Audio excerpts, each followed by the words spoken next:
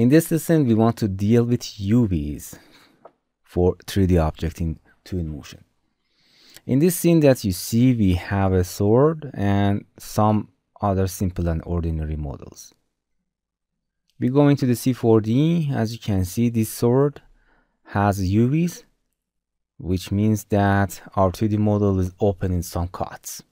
And we can place texture the 2D mode on it. It's very important when we want to the texture to be fixed correctly in an object. You must have done this in your software before exporting.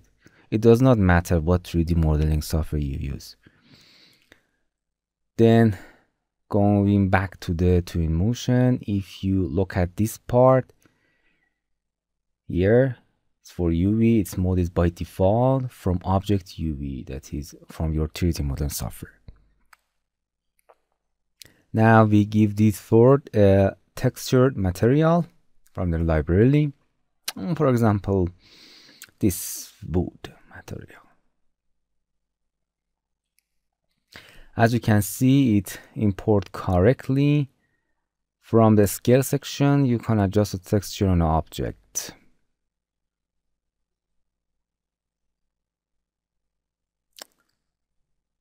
Okay, as you can see, you can fix it on an object. Please pay attention to this image. When a texture want to be placed on an object, each software has its own UV engine called UV projection, which, uh, which does its job in a different mode. the simplest and first mode is planar. Here you will be understand how it works easily. Suppose this rectangle is a texture that is to be placed on this sphere.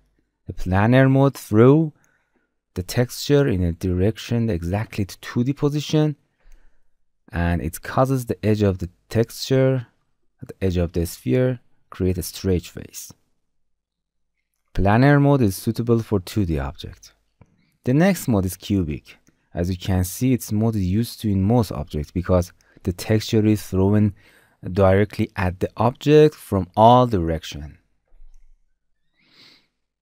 The next state mode is cylindrical. Of course, it is suitable for cylindrical objects. And the next mode is spherical, and of course, it is suitable for spherical objects. Well, now back to the software. We want to put the texture on this cube that has no UV.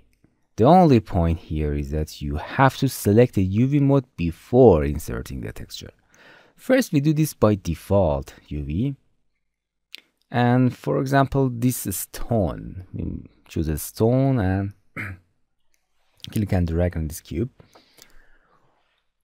Okay, as you can see, we change the mode to cubic and do it to the texture again. You can see the difference now.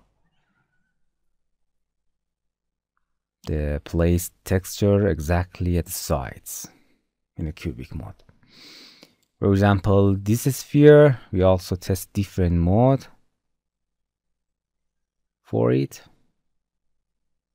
that is suitable mode for spherical is of course spherical mode.